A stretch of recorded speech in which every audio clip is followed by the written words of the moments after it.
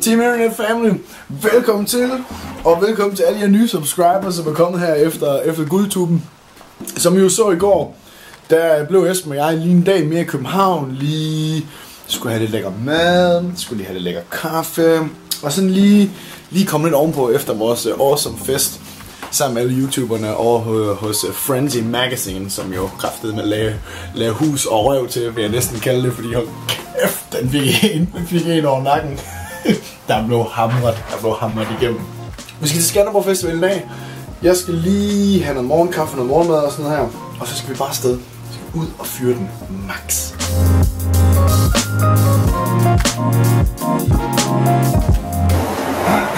My and Family. Vi er klar til øh, Skanderborg Festival nu.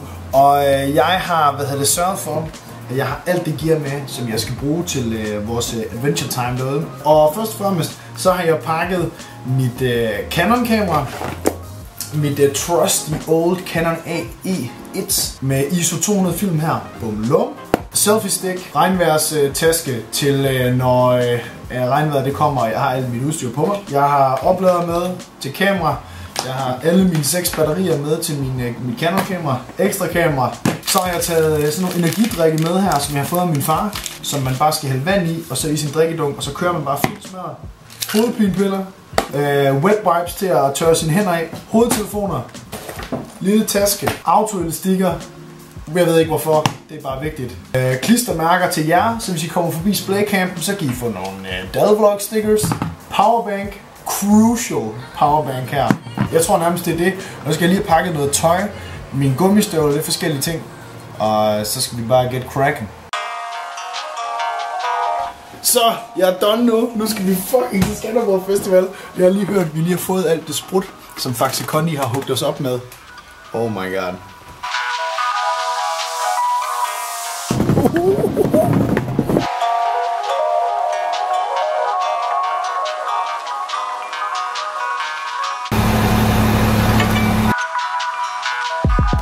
Er kommet til Skanderborg nu. Nu skal jeg bare lige finde ud af, hvad fanden jeg skal gøre. Jeg skal jo have min billet for et eller andet sted. Jeg aner ikke, hvor det er. Hej, kører du til Holst? Jeg kører til Holst, ja. Fedt. Jeg er lige kommet af bussen ude ved, ude ved Holst, hvor vi har vores camp. Øh, og hele vejen i bussen, der har jeg siddet i øh, en eller anden, der har spillet øh, et eller andet små sure ude på stolen, så hele min røv, den er bare våd lige nu. Der var styr på det hele nu. Computeren, fundet en ladestation til den, fået låst den inde, og øh, nu kan vi bare fucking køre. Kan man lægge den derop, når den skal eksport, upload that shit. Det spiller bare det hele. Efter en rimelig, øh, rimelig hård omgang med at få fat i billetterne, så nu har jeg fået min billet. Boom. Og øh, nu skal jeg ned og mødes med de andre. Have en lille øl. Måske en øl eller to, tænker jeg. Det er for sygt op. Der er ikke noget, der slår, der er ikke noget, der slår faktisk Kondi mere. Ikke mere. Nej, ikke mere. Nu, nu kan alle, alle Carlsberg, alt kan gå hjem. Jeg skal, jeg skal bare lige, jeg skal lige høre på, der lige lavet product placement der.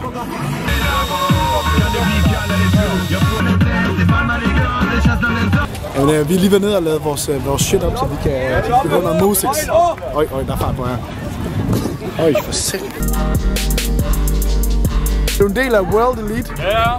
Prøv lige at tage brillerne af. Fucking confirmed, man. Vi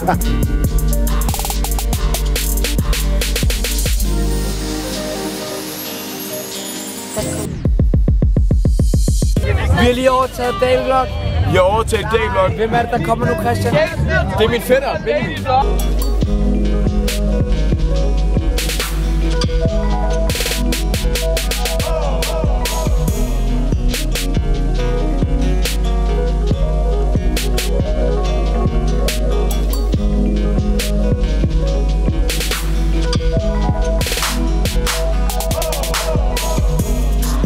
Til Internet Family, vi skal over lige og have en lille bitte snack, og så skal vi over og pisse os, tror jeg. Og det er Dirty Blondine, eller hvad? Lige her. Tænderne op, ikke onaner.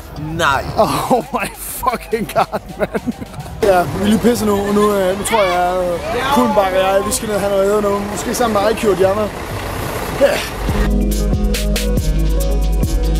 Frederik og jeg, vi står og venter på vores pølsemæk til nu. Det er som om, at, det er som om vi har ventet i... Altså, hvis man må gå 6 timer nu, så er det virkelig sygt. Ja, det er det, er, det er rent, det er lort.